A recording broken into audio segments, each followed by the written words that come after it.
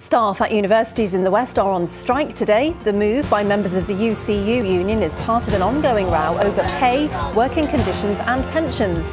Staff at Bath Spa University, the University of Bath, the University of Bristol and the Open University will hold a series of walkouts for 14 days until March the 13th.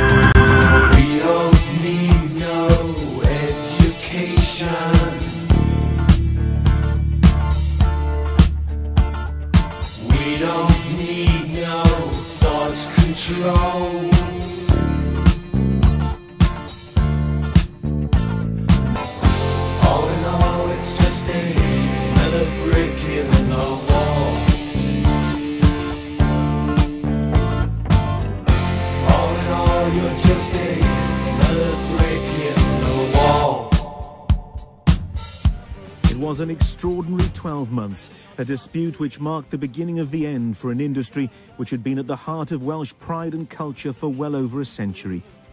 Sparked by the economics of coal mining, it became a fight about union power, which led to bitter divisions in South Wales colliery communities, which last to this day.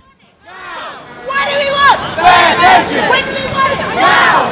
What do we want? Fair Solidarity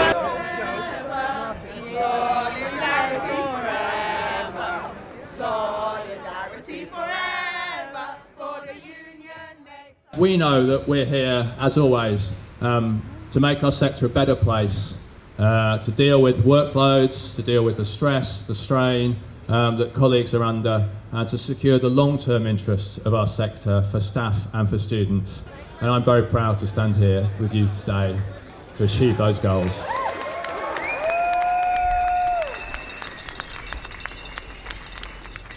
To be striking again after we've gone years and years and years of pushing for better pay, better pensions, better working conditions, a closing of the gender pay gap, anti-casualisation. The list goes on and on. It is so vital to me that we are still standing out here after speaking for years and years and years. And so I wanted to come out here to say that we at Bristol SU stand in solidarity with all of you over all of these matters. We stand in so much solidarity. We want to see change and we need to see change. And if we don't see change, we're going to have to keep pushing and we're going to have to keep coming together to make sure that our voices are heard. I think the university in general, honestly, have not been great. I think generally there's a lot of like a lack of communication or from the university themselves. It's all the individual staff members saying why they're striking and you know what they're facing. It's massively, massively disrupting to the work that I want to do because I love teaching film, and you know, and actually we plan our teaching really, really carefully, and we and you know we are forced to take action that blows great big holes out of that, and you know, none of us want to be doing this, but but we have to be doing this. The inconvenient truth is that because of the strike, staff end up doing even more unpaid labour than before. There's no doubt the lecturers have been brilliant um, to the greatest extent that they've been possible to facilitate catching up um, without breaking the sort of uh, industrial action. Because student numbers have gone through the roof with us, um, we've had to, like full-time staff have had to teach more and more and more with uh, with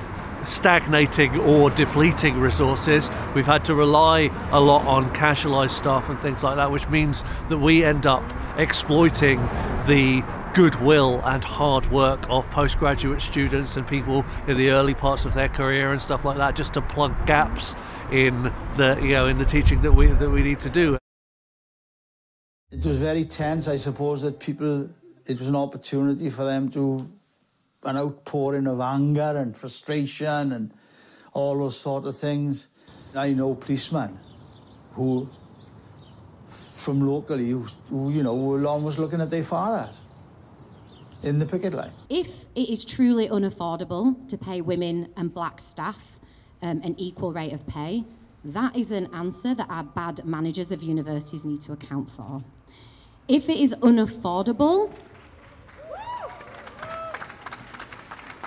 If it is unaffordable for universities to be able to function without junior staff burning out, without professors being unable to contribute to departments in the way that we would expect them to, without our librarians being forced to work extended hours because other staff have been cut. That is bad management. If we are unable, because it's unaffordable, to actually sustain this sector without people doing billions of pounds of unpaid labour, that is because of bad management. What we're asking here is not a lot. Universities have never spent less of their money than they currently do on staff. In the last 10 years, their overall expenditure on staff as a proportion of income has dropped from 58 to 54%. They could start tomorrow addressing all of the issues on the four fights with us, and it would be cost neutral. Universities need to be places that promote values such as social justice, equality, and equity, but they cannot do it on their own if their staff body is not being treated with those same values. But they are ideologically committed to a particular version of higher education, and that version of higher education has to make us the shock absorbers of their bad management. And we're here, and we've been here before because we're saying enough is enough. Terry Morris left the mines 10 days ago after 27 years. He was one of last week's statistics. Why did he decide to leave? Well, I was doing a man's job for boys' money. Simple as that. And uh, watching my brother die at 47 years of age, five weeks ago, of pneumoconiosis, he finally made mine made up for me to get out of the industry completely. I was watching television last night where the ambulance man in London says they're a special case. Well, I feel that we're a special case, the miners. If, if you're producing a pro product which is essential to the economy of the country, well, people have got to pay for that commodity. They've got to pay more for the coal. People don't mind buying a fitted carpet for 150, 200 quid, but don't ask them to pay 20 pound for a ton of coal. They don't like that at all. They don't mind paying 70, 500 pound for a washing machine, which is a luxury. They don't like paying more than 20 pound for a ton of though. I, I can see I can understand some people's perspectives of like uni isn't a service because you come here for the culture, the environment, yeah, meeting new people and all that sort of stuff. But I wouldn't say that's technically what we pay for.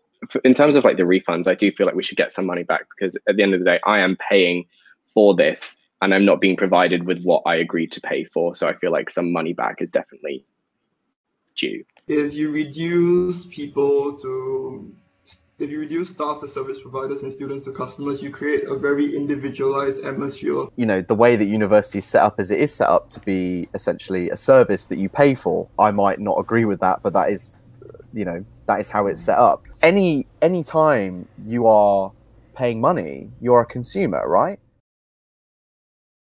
If you want us to have the good faith that you will keep to your promises this time, like they didn't in 2018, Put a bit of money on the table. That is all we are asking for with USS right now. Months passed, there was deadlock. Communities grew hungry. They were fighting not just for jobs, but for the future of their villages. I think it's completely understandable that students, and particularly postgraduate students who are here for a year, are really angry. But the people they should be angry with are university leadership teams who refuse to work with the union to fix some of the worst um, problems the sector has. The rates of casualisation in this sector are a moral stain. So, you know, what they need to do is really divert that anger to the people who have the power to change things. It's, it's a bleak future if universities don't work with us to fix um, how staff in higher education are rewarded and valued.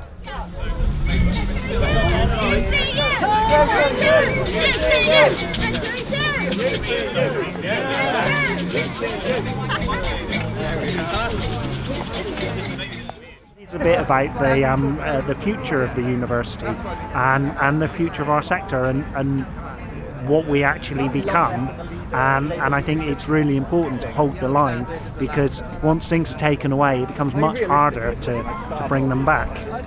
If we don't do something in 20 years time, in 10 years time, there'll have been a 20-year pay cut for staff.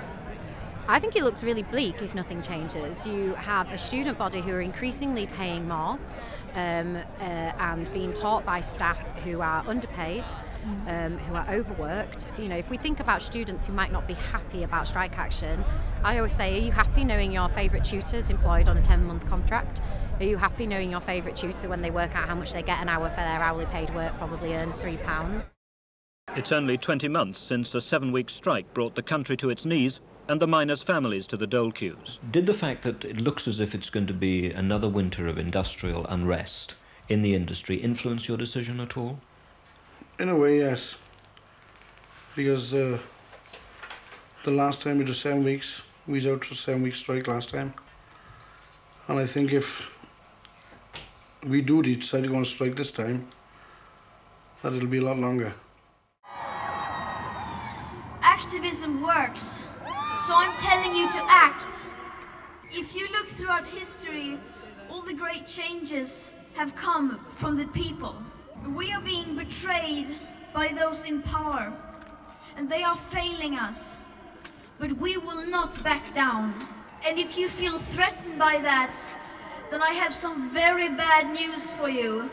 We will not be silent because we are the change and change is coming whether you like it or not. Thank you and let's march.